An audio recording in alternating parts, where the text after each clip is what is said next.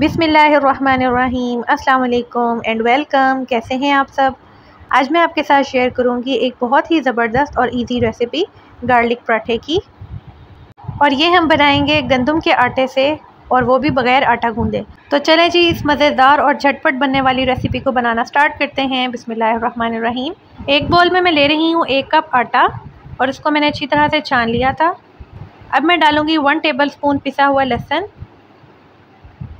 To table spoon कटा हुआ धनिया और वन टीस्पून नमक। अब मैं डालूँगी इसमें पानी और एक स्मूथ सा बैटर रेडी करूँगी।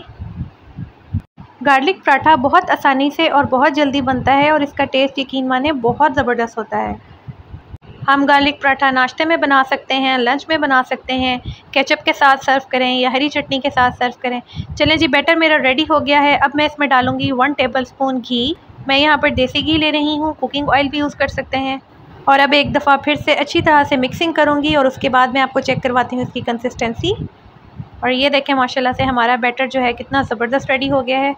चलें जी, अब बारी आती है कुकिंग की। बिसमीम एक नॉन स्टिक फ्राइंग पैन ले रही हूँ और उसको बिना ग्रीस किए उसमें बैटर डाल रही हूँ। जिस साइज़ का आपने पराठा बनाना है, आप उतना ही बैटर डालें। पराठा जो है वो बहुत ज़्यादा मोटा नहीं होना चाहिए, ना ही बहुत ज़्यादा पतला होना चाहिए। सिंपल हम जिस तरह पराठे बनाते हैं तो बैटर डालने के बाद अंदाज़ा हो जाएगा कि पराठा हमारा ज़्यादा मोटा तो नहीं है। मीडियम फ्लेम पर हम पकाएँगे और जब इस तरह की पोजीशन आ जाएगी तो हम साइड चेंज कर देंगे। अब मैं इस पर डाल दूँगी वन टेबल स्पून घी। और दोनों साइड से अच्छी तरह से पकाऊँगी मीडियम फ्लेम पर। तकरीबन दो से तीन मिनट लगेंगे पराठा रेडी होने में। और ये देखें, माशाल्लाह, हमारा पराठा कितना ज़बरदस्त रेडी हो गया है। इसको करने लगी हूँ प्लेट आउट इसी तरह से मैं नेक्स्ट पराठा बना लूँगी रहीम उसी तरह मैं फ्राइंग पैन में बैटर डालूँगी, जिस साइज़ का हमने पराठा बनाना है। थोड़ी सी शेप देंगे। और मीडियम फ्लेम पर पकने देंगे और जब ये पोजीशन आ जाएगी तो फिर हम ऑयल लगाएँगे और फिर दोनों साइड से अच्छी तरह से पका लेंगे। और ये देखें जी, हमारा सेकंड पराठा भी अल्हम्दुलिल्लाह डन हो गया है। एक कप आटा लिया था मैंने और एक कप से यहाँ पर मेरे इसी साइज़ के तीन पराठे बने हैं। आप अपनी ज़रूरत के हिसाब से आटा कम या ज़्यादा कर सकते हैं।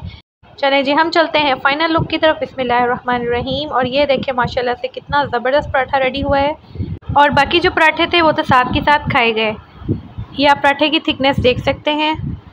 उम्मीद करती हूँ आपको आज की वीडियो पसंद आई होगी। मेरी वीडियो को लाइक और शेयर कीजिएगा चैनल को सब्सक्राइब कीजिएगा। मिलते हैं इंशाल्लाह नेक्स्ट वीडियो में। तब तक के लिए टेक केयर अल्लाह हाफिज़।